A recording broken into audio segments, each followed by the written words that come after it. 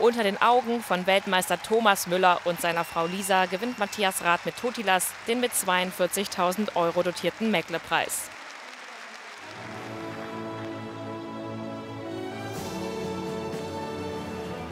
Bereits am Donnerstag siegte Matthias Rath mit dem ausdrucksstarken Rapphengst Totilas und begeisterte Zuschauer und Richter gleichermaßen.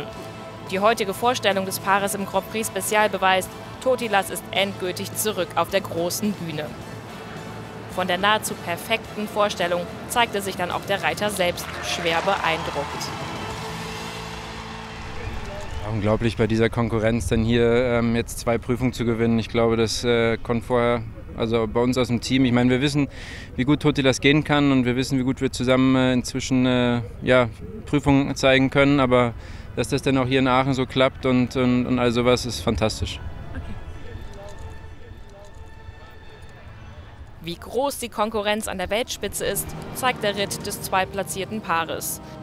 Der bereits als neues Wunderpferd gehandelte Vallegro leistete sich unter der Britin Charlotte Desjardins zwar nur wenige Fehler, die aber waren entscheidend.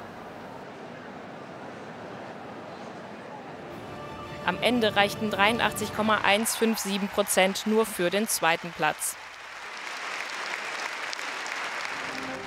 Mit nur einem Prozentpunkt weniger auf Platz 3 Vorjahressiegerin Helen Lange-Haneberg und Damon Hill. Ärgerlich für das Paar. Direkt zu Beginn der Prüfung hatte der Hengst einen Stolperer im starken Trab. Helen Lange-Hahnenberg ließ sich davon nicht aus der Ruhe bringen, hakte den Fehler ab und beendete die Prüfung wie immer mit einem Lächeln. Das Signal in Richtung Weltmeisterschaft Ende August ist klar. Das werden ziemlich spannende Wettkämpfe. Sandra Auffahrt heißt die strahlende Siegerin des DHL-Preises 2014 in Aachen. Bereits im letzten Jahr gelang der deutschen Vielseitigkeitsreiterin ein überragender zweiter Platz. Damals fehlten ihr nur wenige Sekunden zum Sieg. Das sollte dieses Jahr nicht noch einmal passieren. Sowohl nach der Dressur als auch nach dem Springen lag Sandra Auffahrt mit ihrem Obgan Lovo auf Platz 1.